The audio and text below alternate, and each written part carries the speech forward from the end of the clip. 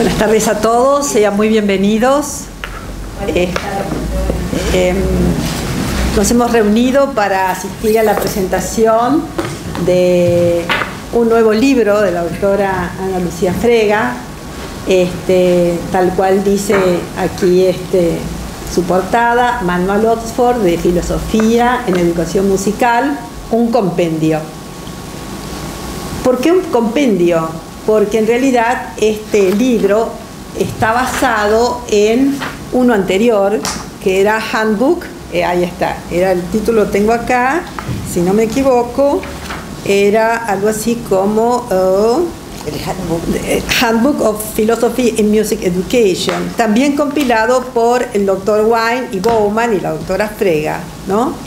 Este libro, el, el que tiene Paola acá, está centrado en presentar nuevos enfoques a la práctica de la enseñanza en música y sobre todo basados en cuestiones que generan los interrogantes filosóficos y que contribuyen a debatir, a reflexionar acerca de las prácticas cotidianas de enseñanza.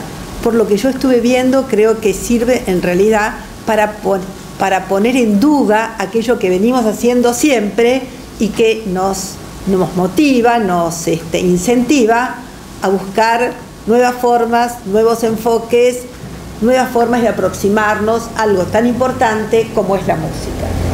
Y cuando estaba tratando de pensar un poco acerca de esta presentación, en realidad yo decía, bueno, en realidad la música nos acompaña desde antes del nacimiento y hasta después de la muerte, ¿no? Y desde muy diferentes formas. La música está presente en la formación, en el deleite estético, en los momentos de alegría, en los momentos de tristeza, ¿sí? Y últimamente algo que me ha llamado mucho la atención no solo como acción terapéutica en los enfermos, que realmente es una cosa bastante interesante, hay algunos trabajos muy fuertes sobre la relación entre la música de Mozart y el bienestar de los enfermos, sino también el uso de la música para agilizar la marcha en enfermos de Parkinson. Con lo cual, en realidad, uno va encontrando innumerables formas de hacer presente la música en la vida cotidiana tanto desde el goce estético en los más altos niveles de, la cultura, si podemos llamar así, hasta en eso que es la vida cotidiana, aquello que nos, motiva a vivir cada vez mejor. Entonces este libro es muy bienvenido, muchas gracias Ana Lucía. Ana Lucía es una persona que este, siempre aporta. Si hay algo que uno puede decir de Ana Lucía, ella siempre está presente y siempre aporta. Siempre va para adelante, siempre va mejor. Y eso en realidad yo le agradezco especialmente. Agradezco su amistad, agradezco desde el punto de vista de la academia su participación. Siempre tiene algo positivo que decir.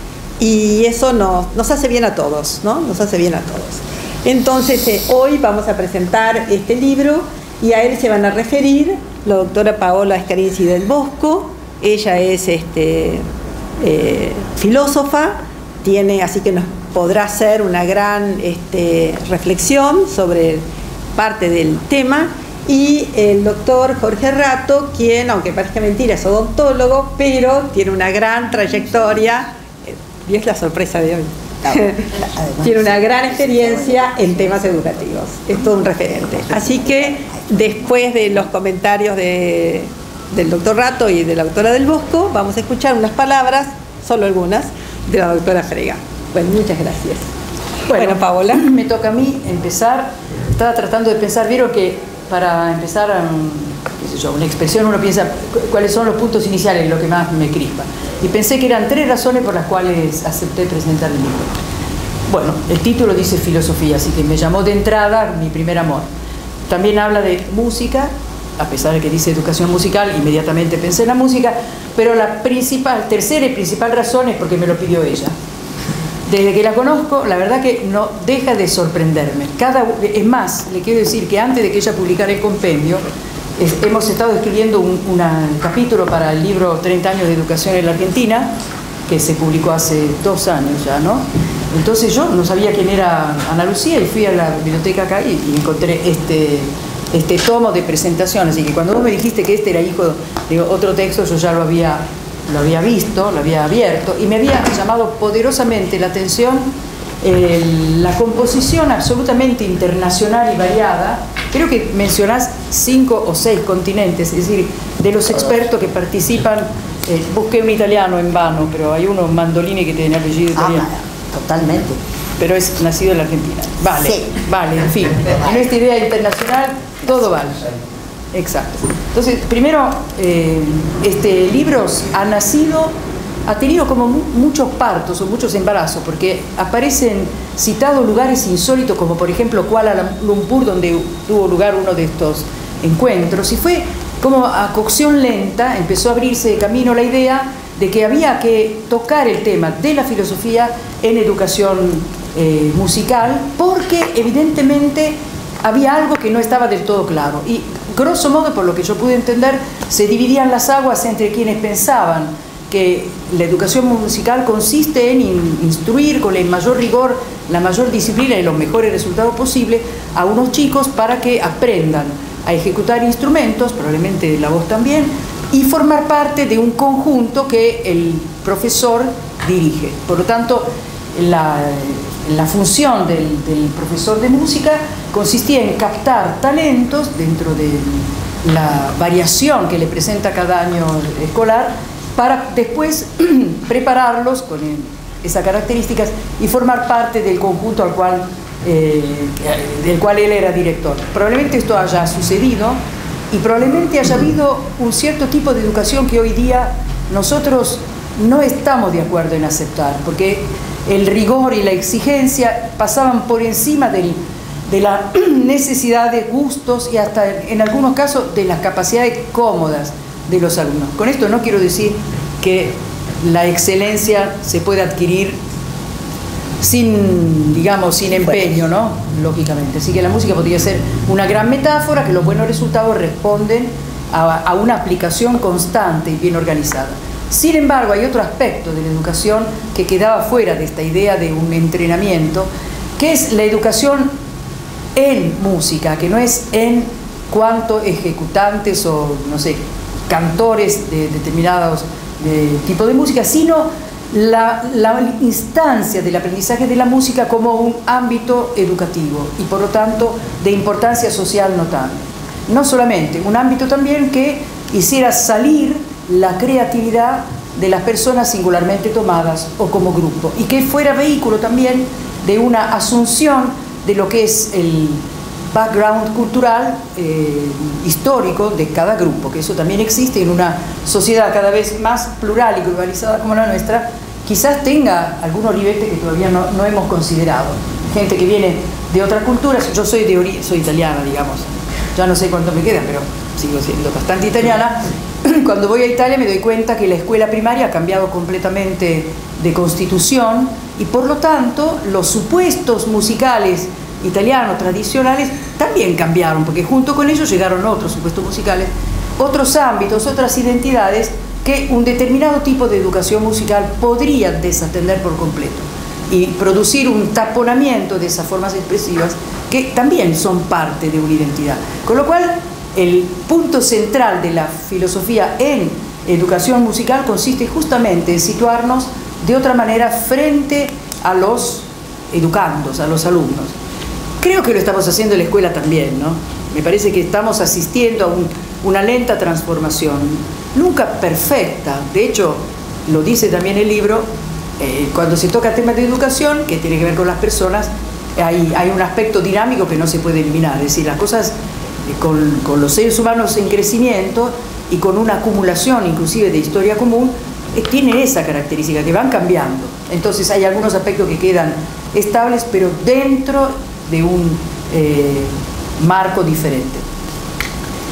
El gran esfuerzo consiste en abrir estas ventanas de la reflexión filosófica y no cerrar ninguna, no solamente oír todas las voces y no considerar a ninguna de ellas desafinada o fuera de lugar y al mismo tiempo no perder la cordura de juzgar cuáles manifestaciones son realmente música y cuáles no, porque también en eso podría haber una intervención crítica, no, no, sé, no cualquier ruido es música ni cualquier alarido es una expresión filosófica. Esto que he dado clase en secundarios, y bueno, mis alumnos eran, en la escuela italiana se enseña historia de la filosofía. Con lo cual ellos, yo descubrí que entre los 15 y los 17 años los chicos tienen un potencial filosófico notable, se preguntan acerca de la vida. Lo que no les interesaba demasiado es repetirme a mí lo que otros habían dicho acerca de la vida, sino que tenían una gran propensión a decirme su pensamiento. Es más, uno de los chicos, esto no tiene nada que ver, pero se me escapa. Una vez uno, un chico ya quinto año, tercer liceo científico, llega al aula, me mira y me hace con el dedo, usted me arruinó el fin de semana, me dijo. Yo, sí. Cosa fatto. Cosa había, simplemente la, clase anterior en viernes había dicho que todos los hombres son mortales y este de repente había descubierto que a pesar de tener 17 años, él también era mortal. Entonces se fue a bailar y en el medio del boliche vio toda la gente contorsionándose con la música y pensó, qué tarados, todos somos mortales, ¿cómo vas a poder bailar? Y esto, es, ahí ven el potencial filosófico de un chico que se tomó en serio algo que yo había dicho, he dicho muchas cosas serias, pero este evidentemente le impactó y le produjo adentro un cambio notable. Hay lugar para todos. Por favor. Bien, entonces lo primero que voy a, rescatar del libro, es quizás lo que es más complejo para mí, pero en fin, pero me activa, que es que no va a proponer una filosofía ya determinada, con unos, unas proposiciones o principios perfectamente definidos y cerrados, sino al revés, preguntarnos por el aspecto filosófico de la educación musical consiste en abrir el debate, estimularlo, hacer que la gente se despierte y que se haga consciente de los presupuestos filosóficos que inconscientemente está aplicando. Porque en el caso de la música podría ser que haya la idea de una perfección ya obtenida que simplemente tiene que ser imitada. En esto usa el ejemplo de Aristóteles y Platón, yo creo que necesita algunos matices. De hecho, Platón tenía cierto fastidio por la música porque decía que inspiraba sentimientos no reales en las personas, con lo cual no acercaba a las personas a la realidad. Eh, en fin, esto sabemos que Fatone lo defendió, defendió esa aplicación. Eh, y en el caso de Aristóteles, algo así, pero desde un punto de vista con una base que hoy, hoy día llamaríamos más científica. Lo que es interesante de este planteo es justamente que el preguntarse filosófico no tiene término, más bien es una actitud frente a la vida, una revisión continua de los supuestos, un, no sé cómo decir, animarnos a preguntarnos respecto del sentido de algo y ver si podría ser visto de otra manera.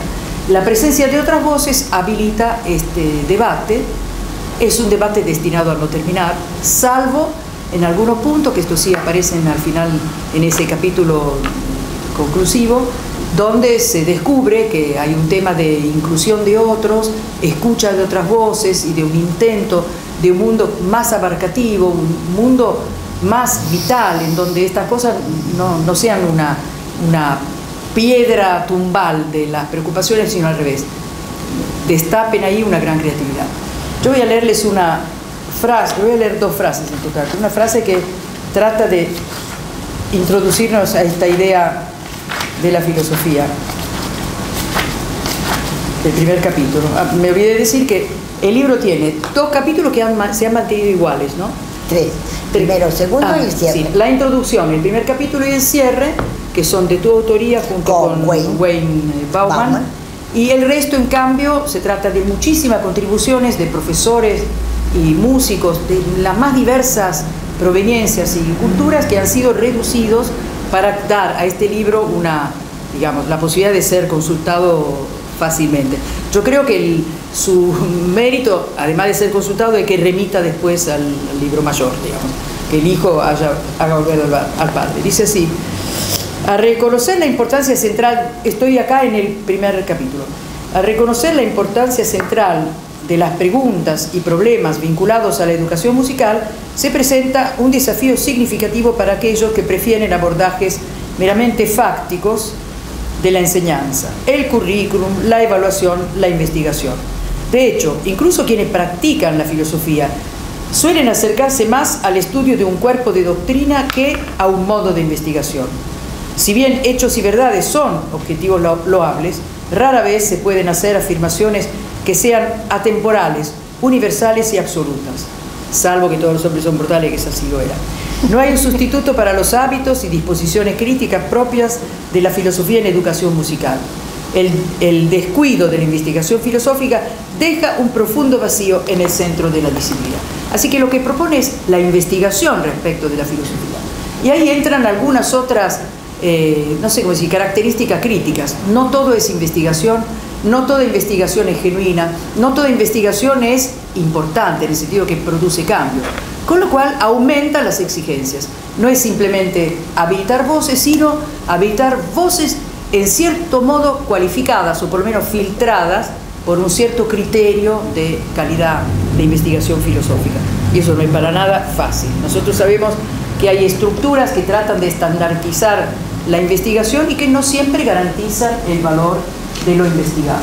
Esto lo han demostrado eh, hackeando el sistema algunos jóvenes pícaros que han publicado un número bastante importante de artículos, eh, papers, finalmente publicados en journals prestigiosos, simplemente porque hablaban el idioma requerido, que era al comienzo largos párrafos del estado de la cuestión, después una mínima presentación y después ellos mismos declararon que todo eso había sido simplemente una composición, un patchwork de, de, de varios otros eh, artículos. ¿no?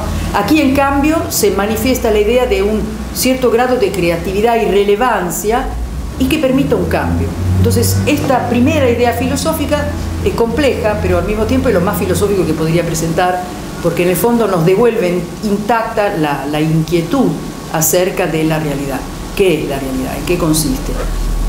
el punto de vista pesa, mi entorno cultural me hace decir y ver las cosas de una determinada manera, ¿puedo salir yo de mi, condicionamiento sociocultural? ¿De qué manera? ¿No es el encuentro con el otro el que me hace ver las cosas vistas de, otra manera?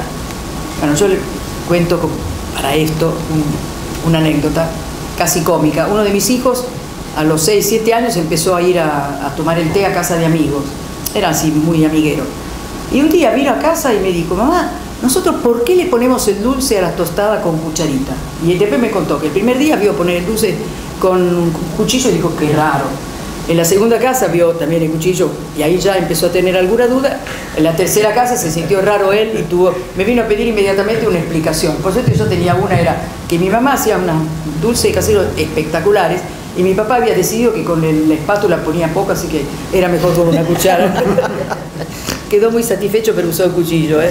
porque hay chicos a una cierta edad uno, digamos, necesita cierta conformidad. Entonces, el encuentro con el otro propiciado por un mundo más abierto, que tiene varios modos de encuentro, en el fondo permite vernos en nuestro marco y también permite, si tenemos esta intención filosófica, salirnos de él para mirar las cosas, con la buena noticia que podemos eh, encontrarnos en el consenso de algunas cuestiones fundamentales, que esto también decís al final que lo voy a leer. Es decir, no está dicho que la apertura, la habilitación de las muchas voces se transforme en un mercado donde cada uno grita lo suyo, sino que cuando hay una actitud de búsqueda sincera, una mirada atenta a la, realidad y a sus costados evidentes, bueno, poco a poco puede haber un consenso, por lo menos en cuestiones básicas. Hace muchos años que me dedico a enseñar ética y esto que digo lo he comprobado, porque mis alumnos profesan un dogmático escepticismo. Ellos creen que no, nada no compartimos absolutamente nada, todas las culturas son distintas y que por lo tanto no podemos intercambiar nada, cada uno habla desde lo suyo. Yo le trato de pelearlos un poco diciendo, pero frente a una infección usarías un antibiótico, un antiséptico, me dicen que sí. Digo, en cualquier cultura ahí quedan un poco perplejos, en realidad en fin, qué sé yo. sin embargo, con un ejercicio en donde lo que se pone de manifiesto es nuestra común humanidad, inclusive mis recalcitrantes alumnos encuentran algo de consenso sobre cuestiones fundamentales como el respeto hacia el otro, el derecho a tener una identidad, el derecho a ser reconocido en la propia identidad, la posibilidad de tener proyectos y de poder llevarlos a cabo, el ejercicio de la propia libertad. Estoy hablando de temas básicos, de un zócalo común que nuestra humanidad nos permite eh, diga, aceptar como coincidencia con los demás. Eso es un primer punto. Yo salté varios capítulos y, y, recalé en dos que tocaban el tema ético. En realidad son más de uno que tocan el tema ético. Ustedes saben que la ética es una parte de la filosofía. Según Aristóteles sería la filosofía práctica, es decir, el conocimiento racional aplicado al hacer. Por lo tanto, la ética tendría que ser la forma más humanamente marcada del hacer, el hacer más plenamente humano. Bien, eso es una muy buena idea. Sin embargo, sobre eso también, habilitando distintas voces, aparecen planteos distintos. En el capítulo largo, en el corto un poco menos, el autor, sobre uno de los autores sobre el tema ético, presenta tres alternativas. ¿Cómo se lee su apellido? Ahora te muestro. ¿Quién es? llega? Regelsky. Regelsky. Oh, es uno de los grandes filósofos de la especialidad. Sí. Entonces, él plantea tres sistemas. Un primer sistema que no quiere llamar utilitarista, sino consecuencialista, pone el acento en el resultado. Si algo necesita este resultado, bueno, hay que hacer una serie de pasos. Eh, si, si este es el resultado, entonces hay que racionalizar cómo se llega a eso. Y él dice que esto tiene, la verdad, poco provecho en ámbito educativo, porque podía poner el acento en lo que uno quiere extraer del alumno. Quizás se haya hecho, ¿no? Yo creo que hay muchos sistemas educativos que ponen el acento en lo que el alumno tiene que saber, lo que tiene que saber escribir, etcétera, etcétera, y entonces todo lo otro no es más que un conjunto de herramientas para obtener ese resultado. La segunda, el segundo sistema filosófico que se utiliza, o que es mencionado, es lo que se podría llamar la ética del deber. Yo tengo que tener en claro cuál es mi deber, yo debo hacer esto. Y a veces, lo que pongamos, pongamos que fuera un docente, porque lo aplica la docencia. El docente tiene que obtener eh, que sus alumnos se callen para que lo escuchen. Estoy diciendo, entonces, bueno, eh, todo, eh, este mi deber no interesa lo que esté sucediendo, yo, mi deber es que se callen, o que me escuchen a mí. Entonces, centrado en lo que yo tengo que hacer, es poca la capacidad de escucha y de, de recepción de lo que sucede del otro lado. Porque del otro lado suceden cosas. En el encuentro entre un educador y lo que se van a educar, es un encuentro entre personas. Hay como misterio de un lado y misterio del otro lado. Y la, lo que yo pienso que voy a hacer, y esto sería mi deber, cuando se confronta con la realidad, debe poder modificarse. Si no, yo no estoy actuando con los alumnos, estoy bajándoles un procedimiento. ¿no?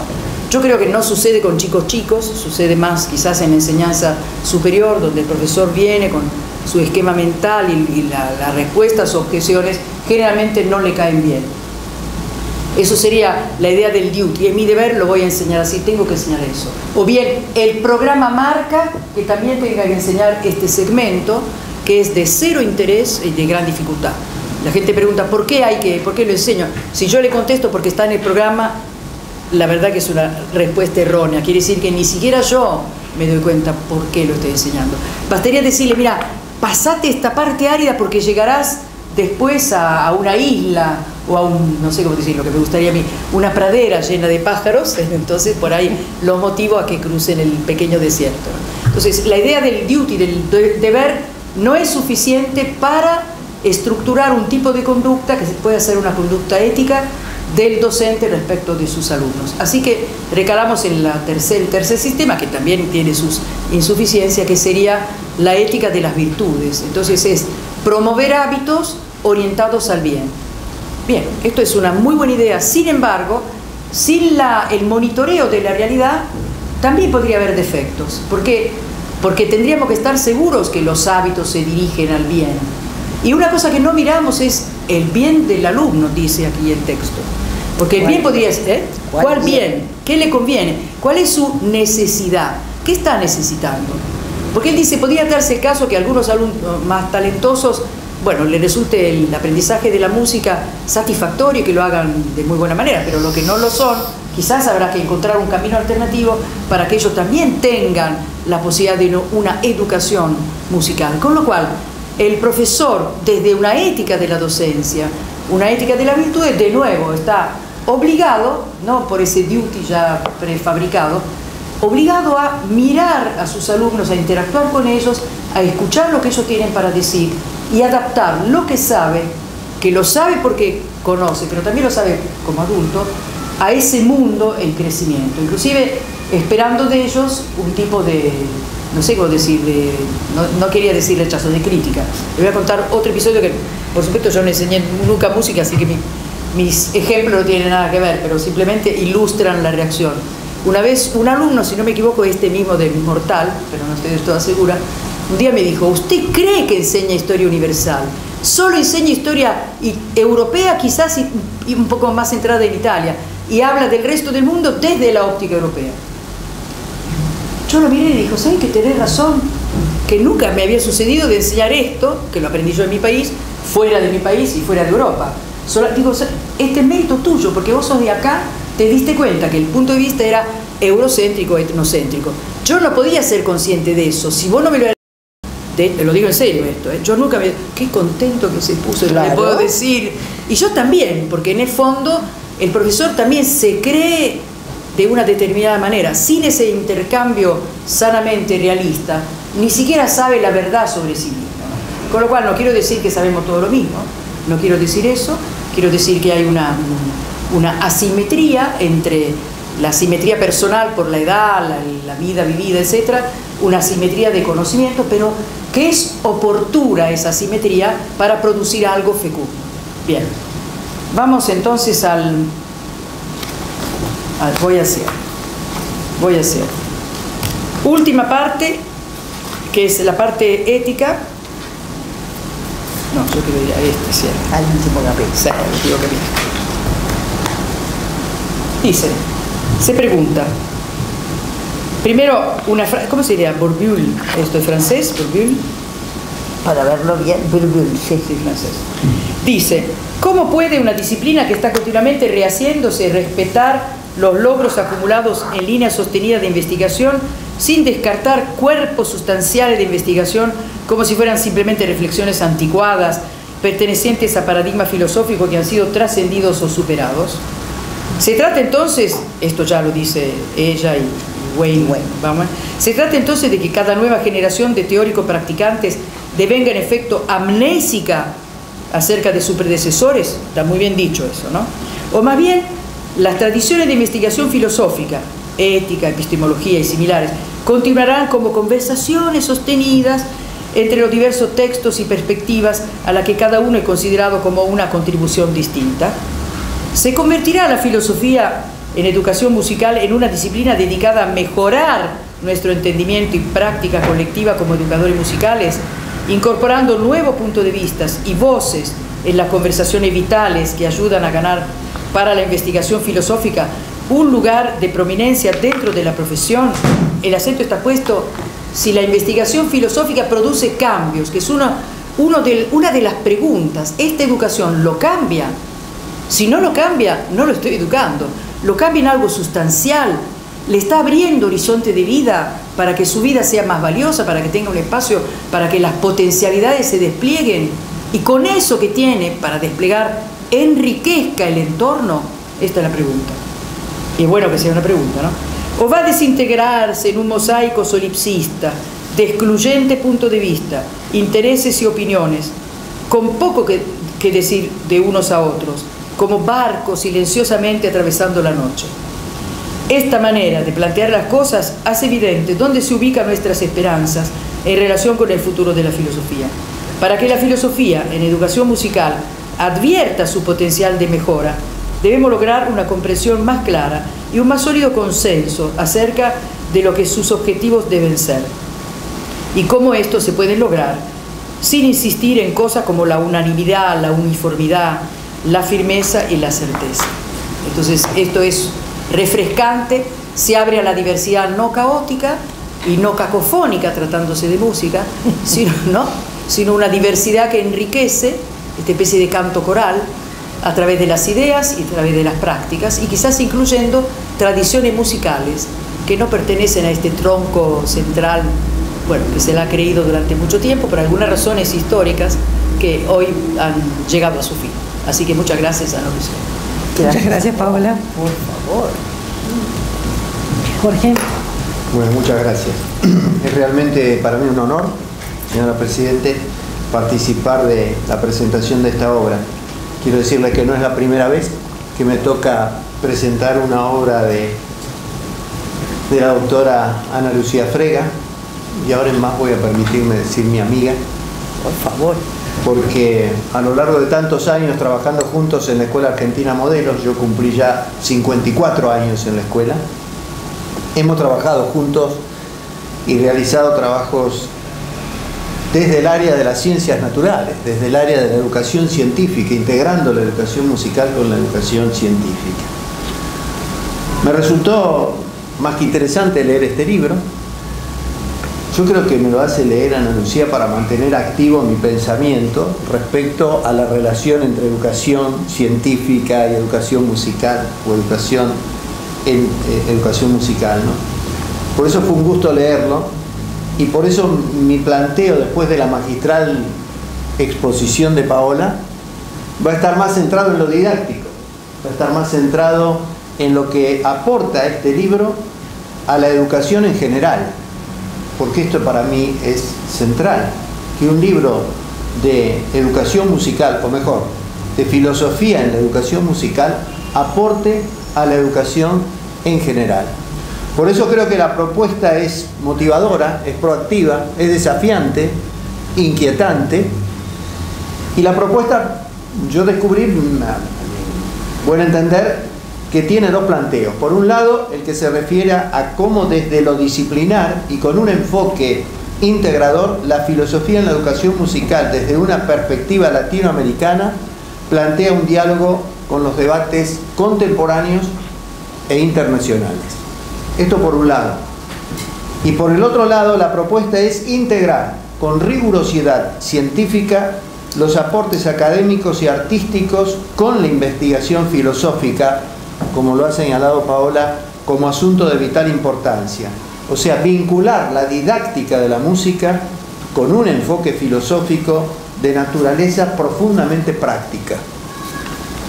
es en el prefacio donde Ana Lucía pone de relieve los aportes de la filosofía en la educación musical y donde relaciona dos territorios, por cierto, fértiles para los educadores en arte y me reitero, para los educadores en general.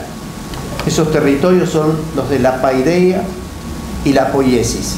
Territorios no excluyentes uno del otro, por el contrario, territorios que se potencian mutuamente donde converge enseñanza, creación, pensamiento y acción con posicionamientos éticos, estéticos, epistemológicos y antropológicos.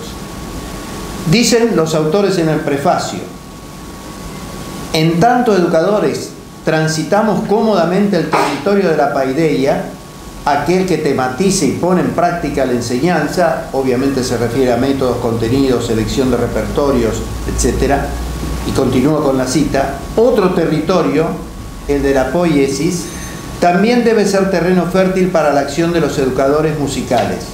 Quien enseña música no es una versión devaluada del artista que no supo ser, sino más bien quien lleva a cabo una práctica profesional que demanda una altísima preparación específica. Fin de la cita. Es interesante señalar, a mi juicio, el origen de la obra que hoy presentamos, porque está demostrando la perseverancia, la seriedad, el esmero y la minuciosidad del trabajo realizado, especialmente para la selección de textos. Según se consigna en la obra, el origen lo encontramos en la Conferencia Internacional de Educación realizada en Kuala Lumpur. Fíjense ustedes, 2006, año 2006. Muy bien. Organizada y moderada por la doctora Frega, en el que participaron especialistas de distintas partes del mundo. Allí surge la idea de esclarecer la comprensión filosófica y el verdadero significado del objeto de estudio de los allí reunidos la búsqueda de encuadros filosóficos en la educación musical. En el 2007, Bowman y Frega proponen un proyecto integrado sobre filosofía de la educación musical que en el 2012 se presenta formalmente con el, con el Oxford Handbook, el libro que han mostrado Paola. Y es ahí seguramente inspirado por la riqueza artística, eh, histórica y arqueológica, donde eh, en la conferencia de Tesalónica, ¿no? Fue en Tesalónica, Grecia, donde surge esta inquietud de hacer un compendio para los hispano, hispanoparlantes. Recuerdo perfectamente, lo recordábamos hoy con, con la presidenta y con la doctora Balián, cuando Frega vino ese día con ese tremendo libro escrito en inglés y en ese hall de entrada lo presentabas con tanto cariño, pero también con tanto orgullo que nos contagiaste a todos. Desde la introducción, y en este caso escrita por los editores, se percibe claramente la intención de plantear el alcance de la investigación y la práctica filosófica y la investigación artística rigurosas a través del intercambio y el trabajo colaborativo para tratar la complejidad del tema y la pluralidad de criterios y visiones expuestas que sin duda potencian el valor de esta obra. Investigación filosófica e investigación artística potencian la educación musical en todos sus aspectos. Convergen para la innovación educativa, diría para ligar teoría y práctica. Convergen para la innovación educativa, para la mejora de las prácticas educativas. Música, educación y filosofía aparecen en la obra como expresiones de la acción humana, como procesos vitales integradores, en los que están presentes valores y actitudes, modos de pensar y de actuar, que emergen en un contexto sociocultural dinámico y cambiante. Así, la reflexión filosófica se presenta como herramienta para la mejora de la educación musical, insisto, de la educación en general, y nos acerca a los problemas didácticos de una forma más inteligente, más creativa, más flexible, reitero, más innovadora. El libro ofrece herramientas para considerar el arte como manifestación cultural compleja, dinámica, cambiante, y la música, además, como producto simbólico y como proceso sociocultural cambiante, como forma de conocimiento, vía de expresión y de comunicación de emociones, ideas, sentimientos. Desde el punto de vista didáctico, considero que el libro promueve experiencias que posibilitan recuperar y ampliar los conocimientos musicales para la producción la apreciación y la contextualización. Cuando hablo de producción pienso en el dominio de habilidades técnicas, de destrezas comprometidas en las ejecuciones instrumentales y vocales y de esto, insisto, puedo dar testimonio de las experiencias vividas a lo largo de tantos años en la escuela, compartiéndolas con, Ana Lucía. Cuando hablo de apreciación pienso en las habilidades de discriminación auditiva y escucha reflexiva de diversos materiales musicales, cuando hablo de contextualización pienso en la música como parte de la cultura de diversas sociedades tal como está eh, registrado en esta obra. Creo que también es interesante destacar la estructura de cada uno de los 26 capítulos, donde aparece en cada capítulo objetivo y plan del capítulo, concepciones filosóficas y o pedagógicas, concepciones musicales y aportes de la educación musical. Estos cuatro ejes me han permitido, por lo menos a mí, establecer comparaciones de enfoques, de criterios, de reflexiones y aportes de todos y cada uno de los especialistas.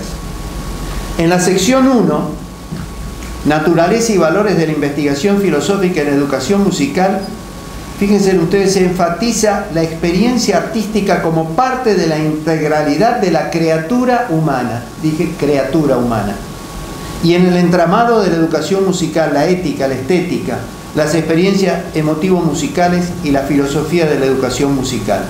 Rescato el sentido de la música en la vida del ser humano, como lo ha señalado Paola, no como complementaria, no como contribución ornamental complementaria, sino la filosofía de la educación musical como arte para la vida. En la sección 2 de la obra aparecen fuertemente articuladas la naturaleza y los valores de la música, la filosofía y la acción como ejes fundamentales de la educación en general y de la educación artística en particular. En las secciones 3 y 4 se trabajan los objetivos de la educación y la investigación filosófica de las cuestiones curriculares e instruccionales, respectivamente. En los capítulos que conforman esta sección o estas secciones 3 y 4 se ofrecen reflexiones y aportes para la construcción de un fundamento filosófico que sostenga, que fundamente las decisiones curriculares. Pensar la enseñanza y el aprendizaje de la música en clave filosófica potencia, como se ha dicho, el desarrollo de actitudes, la aplicación de estrategias metodológicas y la comprensión desde lo conceptual. Finalmente, en la sección 5 se plantean los desafíos de la práctica filosófica en educación musical, cómo llevar a la práctica una filosofía en la educación musical y las contribuciones para comprender los procesos de creación musical.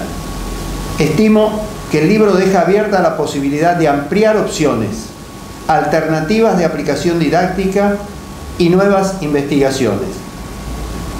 Por eso me pregunto si el epílogo es realmente epílogo. ¿Es parte final?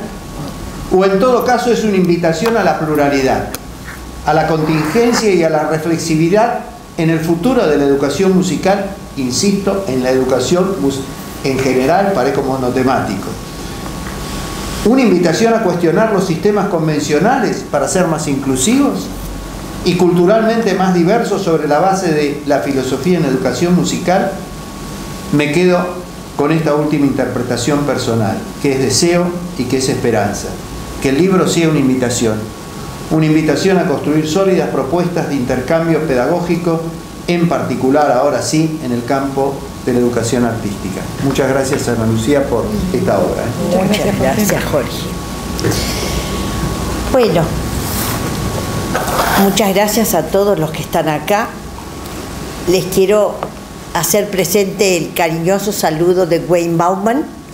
Doctor Wayne Bauman es un trombonista que ha hecho rock, además de hacer música académica, y es doctor en filosofía canadiense. Y yo quiero darle un agradecimiento a él muy especial por el mensaje de hoy que les transfiero, porque en realidad el filósofo es él. Yo soy una educadora con formación musical muy sólida, eso sí, y con muchos años de pedagogía, y con una especie de intuición antidogmática que trata de no ser dogmática. Porque ser antidogmático dogmáticamente también es un peligro. Entonces, ¿por qué nuestra Sociedad Internacional de Educación Musical en el año 2006, como recordó Jorge, hizo este panel mundial sobre por qué estábamos enseñando música, por qué llevábamos décadas peleando por la enseñanza de la música en todos los países, por qué luchábamos por que hubiera, es decir, ¿por qué fin? ¿Para hacer qué? ¿Para lograr qué en los procesos de educación general? Superado el eurocentrismo colonialista, que resolvía además que las tres B, es decir, Bach, Beethoven y Brahms tenían que ser sabidas por todo el mundo en todas partes, porque eso era saber música nada más. Eh, y es un juego el que estoy haciendo, porque es muy bueno que sepamos quién eran Bach, Beethoven y Brahms y que los hayamos conocido y los aprendido y aprendido. Bueno, nuestra sociedad que empezó en la década del 50, 1953, creada por la UNESCO, con un primer vicepresidente latinoamericano, don Domingo Santa Cruz, el decano de la Facultad de Ciencias y Artes Musicales de Chile. Eh, claro, empezó como se empezaba en ese momento. La UNESCO, ustedes saben, generó movimientos a partir de la Segunda Guerra Mundial. Había que reconstruir un poco el mundo que había quedado. Y bueno, generaron un Consejo Internacional de la Música, una Sociedad Internacional de Música Contemporánea, una Sociedad Internacional de Musicología una Sociedad Internacional de Educación Musical. El primer congreso estudió hasta el tema 1953 de la educación de las jóvenes generaciones en música por medio de la radio. Y por supuesto presentó métodos que eran los métodos. Método Orff, Alemania, Austria, método Jacques Dalcroze, Suiza, Francia, método Ward, Odette Hertz, Estados Unidos, Francia, Estados Unidos, porque estaba basado en el canto gregoriano. Y el método Martenot, presentado por Maurice Martenot, compositor francés de renovación de instrumentos, de técnicas, un señor que había sido muy activo en el campo de eh, las nuevas metodologías educativas en el año 1927 ya.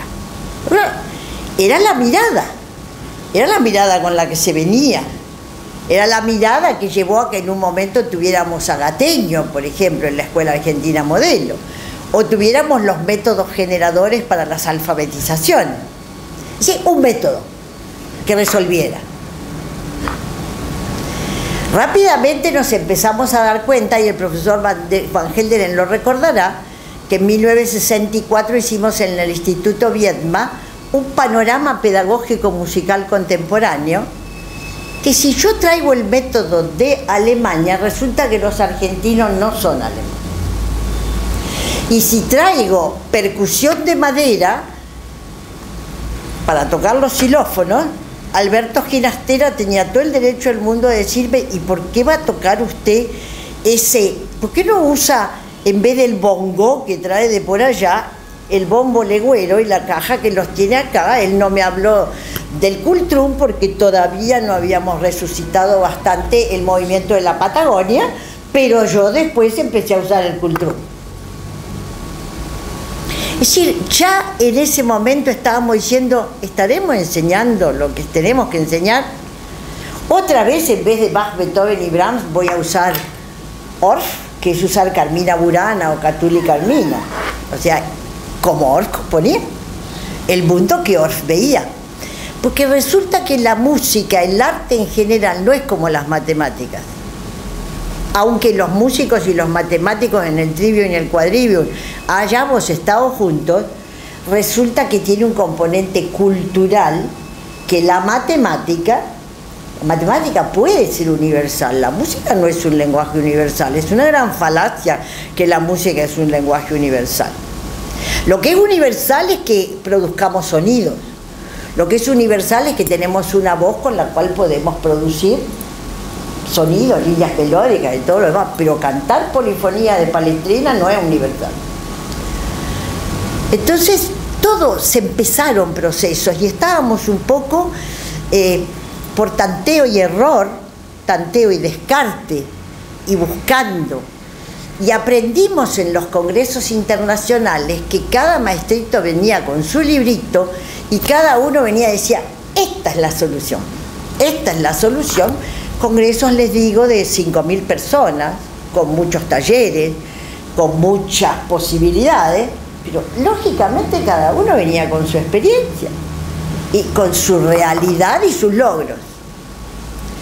Se fueron, apareció la posmodernidad, el multiculturalismo, los problemas de género, sigo, todo lo que ustedes quieran fue apareciendo.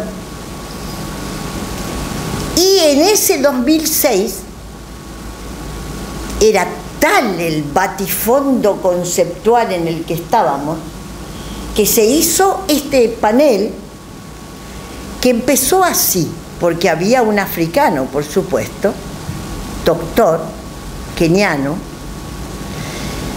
con el cual cometí una gaf fenomenal, porque yo lo había invitado, todo por mail, aceptó, estaba en el panel, y yo no lo encontraba y no lo veía en el Congreso, pero fulano está, sí, fulano está. Llegamos al panel, nos sentamos todos prolijamente en el panel porque todos sabíamos, y él llega y se sienta allá. Y entonces yo me acerco y le digo, pero ¿qué te pasa? Entonces me dice, eh, es que no me invitó a estar en la mesa. Y como yo tengo que hablar, me siento acá.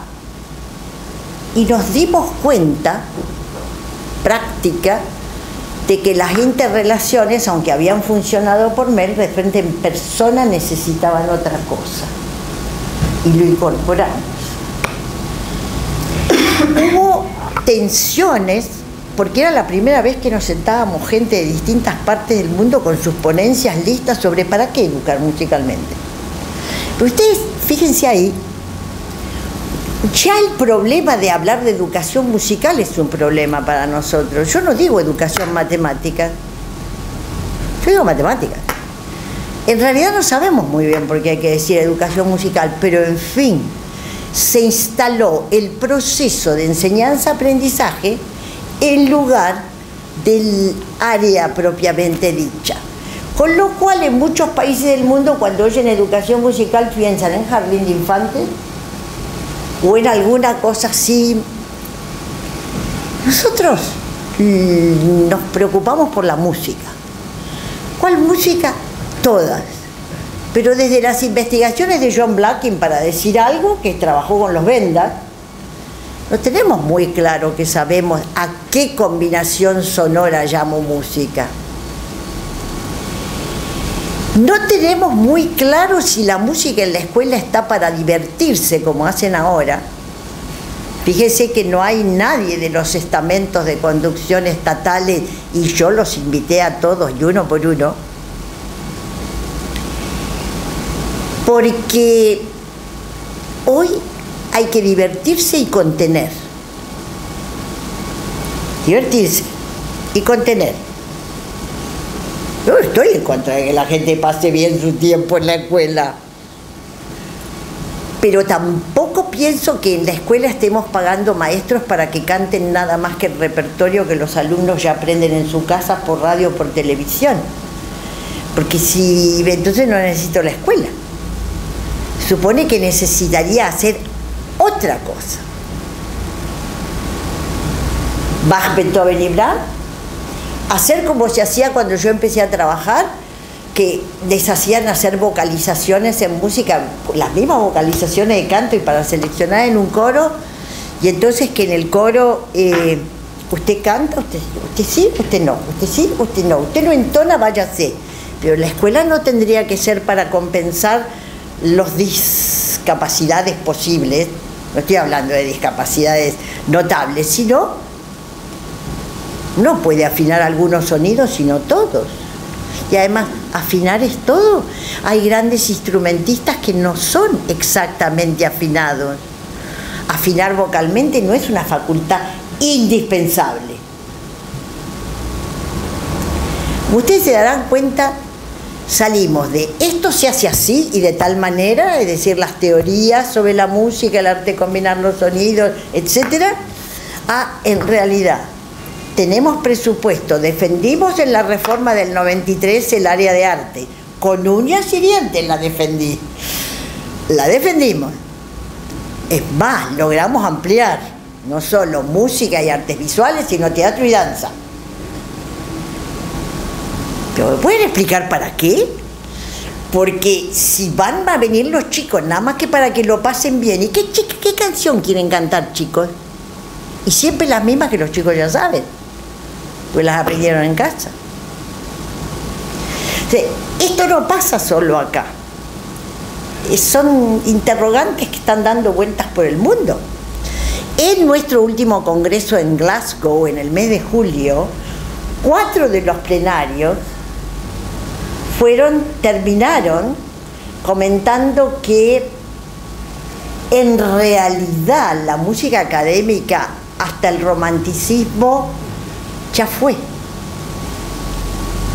El Congreso de nuestra especialidad. Y que lo que era importante ahora el jazz, el rock. Entonces yo dije, estamos haciendo una pregunta equivocada. Porque nuestro problema no es si Beethoven, porque lo dijeron así, Bach y Mozart ya no interesan. Yo creo que te lo comenté un día. Y dije, estamos preguntando mal. Porque en la época de Bach y Beethoven, además de ellos, estaban todos los músicos populares. Se bailaba la zarabanda, se, se bailaba, no la gabota que se bailaba en los salones, la zarabanda, la tarantela. Es decir, lo de todos los días de interés cotidiano. Eso es lo que es para hacer paralelo con el rock. No Bach y Beethoven. Bach y Beethoven le tengo que poner Herbert Pert, le tengo que poner los compositores contemporáneos que usan los nuevos contemporáneos y que piden una demanda del mismo tipo. Por eso es que Wayne, con quien aprendí muchísimo, que fue muy generoso, yo lo impulsé desde la práctica. que a mí me preocupa mucho que esté el presupuesto y que no estemos haciendo educación. Que tengamos la obligatoriedad y sean horas, que se están perdiendo. Si tenemos las horas y tenemos el presupuesto, vamos a tener que pensar para qué las tenemos. No para ir a ver una demostración como fui yo a ver el año pasado en un profesorado en X ciudad de la provincia de Buenos Aires, para ir a ver que le estaban enseñando a los docentes a ir a hacer acciones procaces con los chicos por, a través de la música. Lo vi. Pero también supe que hay grupos de directores de escuela que piden que no designen profesores de música salidos de ese lugar, porque lo hacen es general indisciplina y no enseñan nada. Y muchas veces ni siquiera saben trabajar en equipo con sus colegas de las salas. Pues ¿cómo se puede pensar en repensar? Academia es pensar y repensar la educación. Y por eso esa preposición en. No queremos escribir, no escribimos un libro de filosofía de la educación musical para hacer la historia de todas las teorías filosóficas y las investigaciones a lo largo de la historia. Ahí entramos en conflicto, claro, porque Platón decía que a los músicos no nos quería, porque además de la fantasía y verdad, éramos dispersos. Claro, si ustedes piensan en algunos señores tipo Dionisio y la flauta de pan y el vino y todas esas cosas, claro, son un poco dispersantes, pero no es una, una no es filosofía de que voy a estudiar, no está mal estudiar los pensamientos históricos, pero no es nuestra base. Nuestra base es preguntarnos, educación musical, ¿dónde? ¿Cómo? ¿Quién la hace? ¿Para qué la hace? ¿Con qué metas la hace? ¿Qué actitudes? ¿Qué contenido? ¿Qué? ¿Qué? Y que ejercitemos el pensamiento crítico, que ejercitemos la observación del estudiante. Es decir, que al estar filosofando en, filosofamos las preguntas de las situaciones, los interrogantes de las situaciones, eh, las posibilidades de las situaciones. Y les tengo que decir una cosa, este libro es muy poético, este es muy poético, porque claro, somos todos gente artista, se supone que tenemos una sensibilidad y además es gente sumamente preparada. Pero, ¿por qué no tradujimos el libro Intot? Ustedes saben que no autoriza la Oxford University Press, no hay antecedentes. Ahora lo va a ver porque se está terminando la traducción completa de esto. Adivinen a qué idioma. Chino mandarín. vamos a hacer un bestseller fenomenal para que le cuento millones. Pero no es habitual que un manual, porque habitual es que en el mundo académico, en las universidades, se lea inglés. Es muy fuerte hoy en día. Cuando publicamos esto, y la editorial, así Andrés me oye, la editorial Oxford University Press nos ofreció una cena muy paqueta en Tesalónica los autores. Yo me senté en la mesa y con Susan Ryan y Wayne Bauman y su señora brindamos por el libro. Para mí, yo creo que soy la única autora latinoamericana, coeditora latinoamericana que hay en la colección de Handbook de música, creo, creo. Yo estaba muy fascinada, pero decía, yo quiero que esto lo lean mundo hispano hablante. ¿Cómo traduzco esto que de las 600 páginas que tiene en inglés, en español me da 800? ¿A quién convenzo para que lo publique? Tendría que haber ido, no tengo esa capacidad. Oxford no tiene demasiado interés, Oxford quiere vender los libros en inglés, ¿para qué lo voy a engañar? Entonces puse sobre la mesa en medio del brindis un compendio. Ah, no, no, no, no, dijo Wayne. Yo no quiero tener nada más que ver con esto, fue un trabajo, fue enorme, fue... Violeta lo conoce a Wayne, sabe cómo trabajamos. Wayne estuvo acá, ha dado clases en la maestría que yo dirigía, en la, en la, en la KS. Y entonces, digo, miren, compendio 100 más o menos, podemos pensar en encontrar un editor en español. Yo dije, San Andrés de Lesca por ahí, como después que ha publicado las antropologías de la música de, de, mi querido amigo que habló acá en una de las jornadas, es Reynoso. Reynoso. Son libros de este tamaño. No me va a decir que no. Pero ¿con quién lo hago? Porque bueno, lo único que puede llegar a saber parecido al español es un poco italiano porque nació en Carrara, de, de padre de padre americano, en Carrara, todo por la guerra, todo por la guerra. Entonces yo dije, ¿quién? Y me acordé que no está hoy acá porque está tomando exámenes en la Universidad Nacional de San Martín. En este momento empezó la mesa a las cinco y media de la tarde. Me acordé de Pablo Martín Vicari, un joven músico argentino que, está, que terminó su doctorado en epistemología en la UNTREF, que eh, es muy trabajador, que desgraciadamente sufre del, del tema argentino de que nuestros jóvenes están trabajando en siete lugares, uno acá, el otro allá, con lo cual, pero bueno, es muy capaz. Y le dije, vos tenés el perfil para ayudarme, porque a mí me dijeron un compendio no, pero si hacemos un planteo inteligente, puede ser que el compendio sí. Entonces estudiamos la forma de hacer una ficha con destino sobre todo al pregrado y al perfeccionamiento profesional en ejercicio, que permitiera un acercamiento confiable a los autores originales, por eso hay citas directas. Pero claro, si las citas son una selección.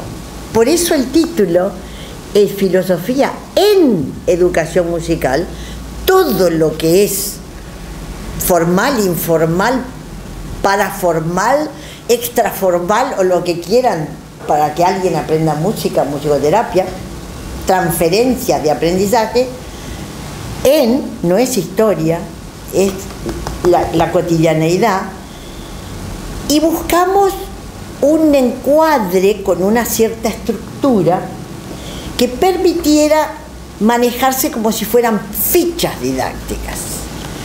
Y para que se entendiera la obra, la introducción y el primer capítulo generales que escribimos Wayne y yo, están enteros traducidos, porque digamos que es la, la tesis del libro. Cada uno de los capítulos esperamos que esté traducido, que esté diseñado en una confiabilidad muy grande al mensaje del libro de, de cada capítulo original.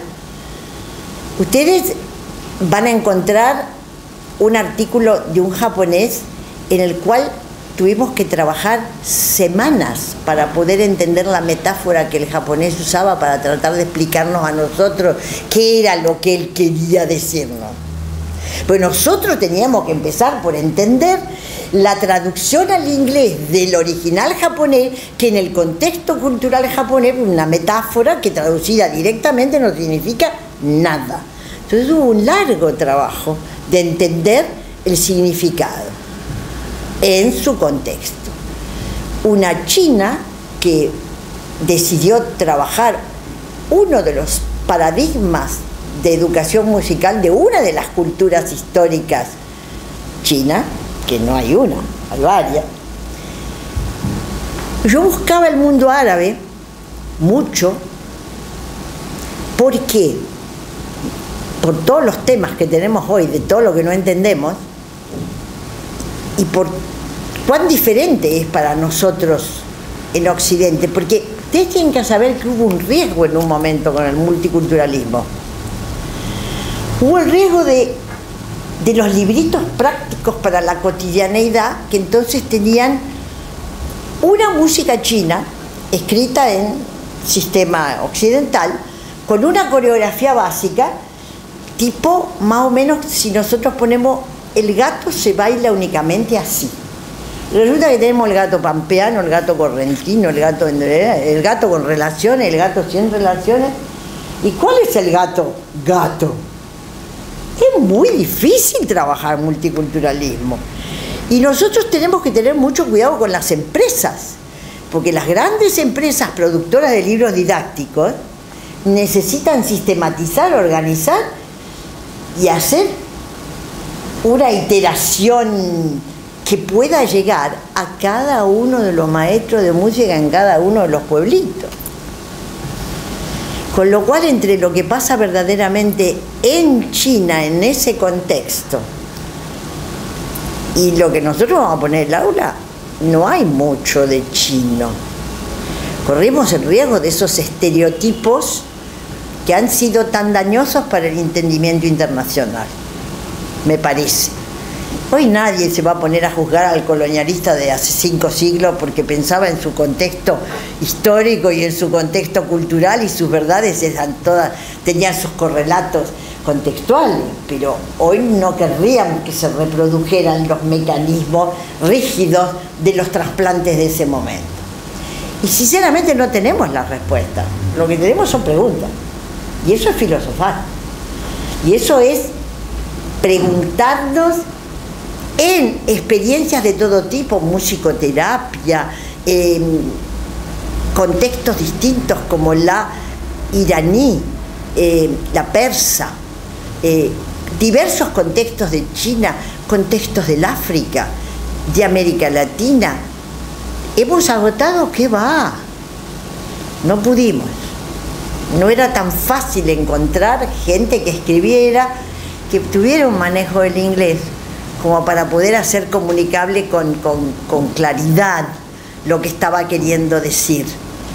Tenemos incursiones en algunos modelos interesantes, inclusive institucionales, como el de los habitantes del río, quizás se acuerdan ustedes, irlandesa, eh, que es, es una, una, alegoría muy linda de, de, las ninfas, no son ninfas, tienen un nombre en irlandés. Creo, y le agradezco mucho a, Paola, y ya termino, presidente, eh, le agradezco mucho a Paola eh, los ejemplos que tomó porque son muy ilustrativos de, del interés que teníamos. Le agradezco mucho a Jorge porque me ayudó a, ver la intencionalidad didáctica de esto. Eh, les agradezco a ustedes que vinieron y mi última focalización es, por favor, esto es un compendio. No es la única manera de compendiar el handbook. Yo puedo hacer otra propuesta. Esto también es investigación en cierta forma. Hicimos un recorte, pensamos desde ese recorte y desde ese recorte hicimos esta, pudimos hacer un compendio solamente de los capítulos que se referían, por ejemplo, a temas de primera infancia. no es el compendio, es un compendio. Y yo creo que si Wayne se convenció, aparte de porque habíamos trabajado mucho los dos, y creo que eso también tuvo que ver con la autorización de Oxford University Press para esto, es porque él, yo había estado en la cocina del original. Entonces confiaba que iba a hacer un compendio que de una manera u otra fuera honesto con el original. No es fácil, pero le agradezco a Jorge, y con eso termino, su llamado de atención con respecto a que esto es no solo para música. Digamos que la causa eficiente para escribirlo fue música, porque nosotros somos músicos, pero en realidad hemos traído nuestras angustias y nuestras preguntas tanto Wayne como yo, que somos educadores de toda la vida, en todos los niveles de la escolaridad, Wayne fue un rockero de esos que con el conjunto rock recorrió todo Estados Unidos haciendo rock en pueblos grandes, medianos y chicos. Es decir, no somos gente que estuvimos encerrados en capsulitas de cristal, en experiencias deleitosas. Eh, yo pienso que los grandes interrogantes que tenemos y que en nuestra academia vivimos permanentemente mes a mes y reunión a reunión, podrían ser iluminados con una línea que tuviera una organización, no digo este libro, sino la organización que lo sustenta, la organización de ideas que lo sustenta. Yo creo que no podemos seguir discutiendo nada más que trayectos educativos, contenidos educativos, este, y discutir si, si vamos a tener dos horas o tres horas y si evaluamos o no evaluamos. Sinceramente pienso que todo esto tiene respuestas y que si no la escuchamos porque no queremos por algún interés espurio, como dicen los diarios hoy. Yo creo que si hay que hacer una reflexión, tiene que ser filosófica, tiene que ser en el mundo del aprendizaje, en el mundo de la educación en sentido amplio, en el mundo de para qué, con qué, con qué presupuestos. De... Yo soy de las que pienso que solamente, y lo he dicho con toda honestidad, abrir jardines de infantes, si no sé para qué, y no tengo maestros suficientemente bien preparados para que es una sana intención, pero no sé si es la solución. Pienso que en este momento todos tendríamos que ponernos de alguna manera a pensar y repensar, profesor Van Genderen, como usted nos dice hace tantos años, con el esfuerzo que nos pide la filosofía, que es eh, severa en la disciplina, pero que abre los ojos. Muchas gracias.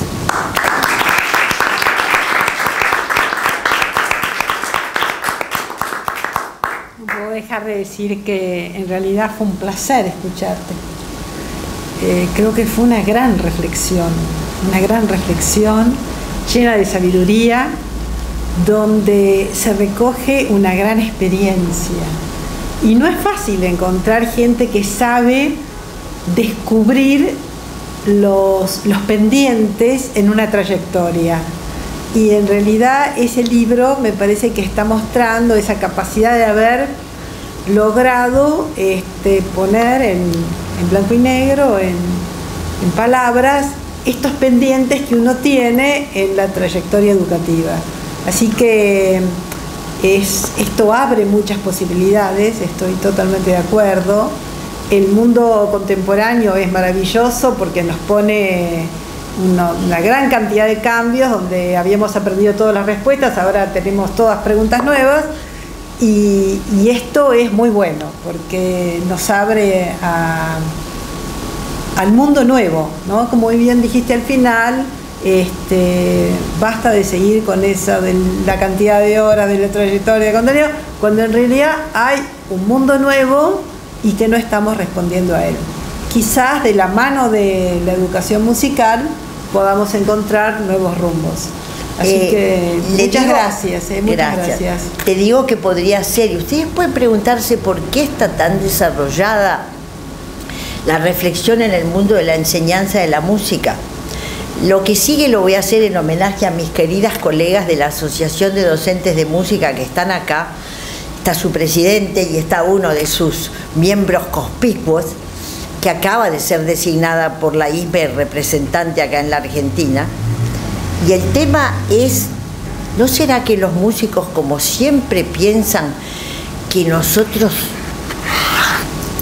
porque en realidad lo importante es la alfabetización, la matemática, ¿eh? hemos tenido que estudiar mucho para tratar de defender el área, entonces como aquel que trabaja desde el complejo de inferioridad, se empieza a sacar argumentos. Por ahí, por eso tenemos, la gente de teatro tiene un poco menos, la gente de artes visuales tiene menos todavía. No hay mucha investigación en esto. Nosotros sentimos que lo teníamos que hacer y además es un deber histórico, porque allá en la Edad Media el trivium y el quadrivium tenía música y tenía matemáticas, pero claro, no era el pentagrama en la pauta de cinco líneas y cuatro espacios, era música en términos de alta matemática también. Así que gracias, Beatriz. No, Muchas gracias. Espléndido. Bueno, otro aplauso.